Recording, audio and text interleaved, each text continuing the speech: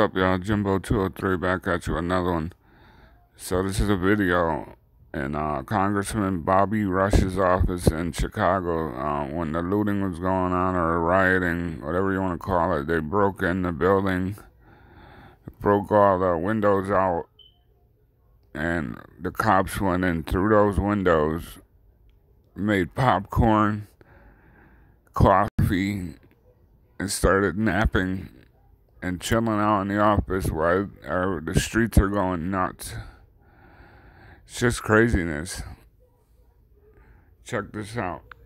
You know who you are. You know what you did. Don't make us come find you.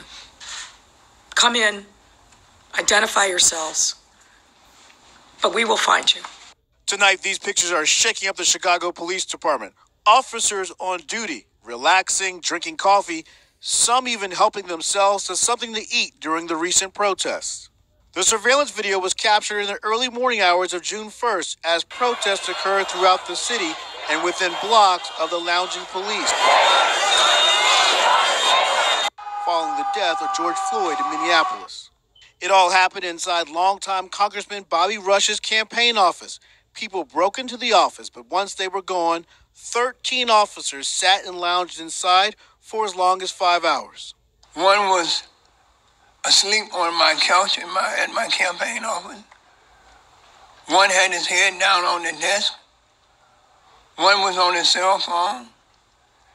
They even had the unmitigated gall to go and make coffee for themselves and to pop popcorn, my popcorn, in my microwave.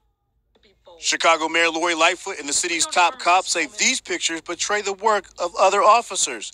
Tonight, while investigators work to identify the officers, the police issued a statement which in part says At the request of Chicago Police Superintendent David O. Brown, an internal investigation has been opened into the police response and actions that took place from the late evening of May 31st, 2020 into June 1st, 2020 at Congressman Bobby Rush's campaign office. Three of the officers seen in the video are wearing white shirts, indicating they are supervisors with the department. Tonight, the superintendent delivering a stern warning. I'm not playing with you. That I mean what I say when I say we're going to hold you accountable and that your behavior reflects my leadership and it reflects all of your leadership. Move, get out of the way, but we are going to uphold the nobility of this profession. The mayor was already pushing for statewide licensing of police while seeking to rebuild trust in the black community and is sure to cite this video moving forward. And I can tell you one thing for certain. Not one of these officers will be allowed to hide behind the badge and go on and act like nothing ever happened. Not anymore. Not in my city, not in your city.